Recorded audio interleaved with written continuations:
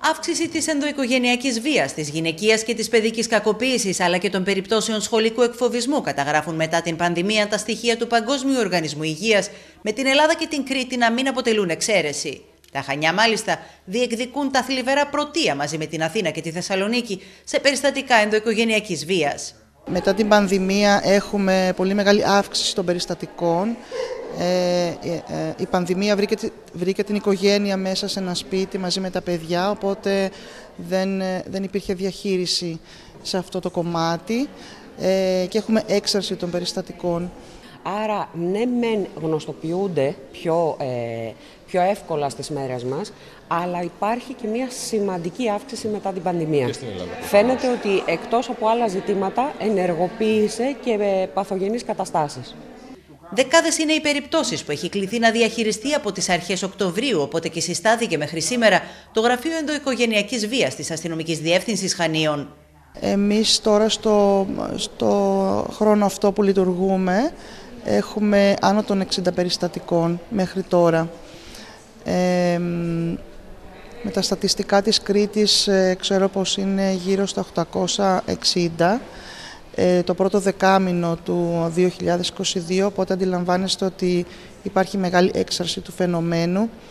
Ανάμεσα στα δεκάδες περιστατικά που αφορούν πάντα σε ψυχολογική και σωματική βία, λιγότερα πλην όμως υπαρκτά είναι αυτά στα οποία τα θύματα είναι άνδρες και ηλικιωμένοι. Όμως δεν καταγγέλλονται λόγω εγωισμού, λόγω ντροπής για αυτό το λόγο, αλλά υπάρχουν ε, ε, τα μαθαίνουμε, δεν, δεν έρχονται να μας τα καταγγείλουν, ντρέπονται προφανώς. Ο Δήμος Χανίων αναλαμβάνει μια πρωτοβουλία ώστε να ρίξει φως, να δείξει και να καταδείξει το εύρος του προβλήματος, αλλά κυρίως να δώσει πληροφόρηση στους ανθρώπους, στο σύνολο της κοινωνίας, ώστε να μπορεί να παρεμβαίνει. Να ευαισθητοποιήσει, να κινητοποιήσει και να συντονίσει όλους εκείνους τους φορείς αλλά και τους πολίτες ακόμα ενάντια στη βία κατά των γυναικών. Παρά την αυστηροποίηση των ποινών με τις αλλαγές του ποινικού κώδικα την τελευταία διετία, δεν καταγράφηκε αποτροπή.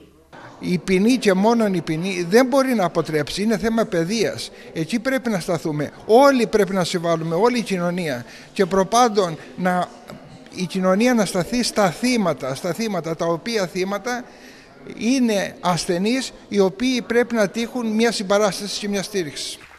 Το πρώτο βήμα για την αντιμετώπιση του φαινομένου είναι η κινητοποίηση και η ευαισθητοποίηση της ίδιας της κοινωνίας.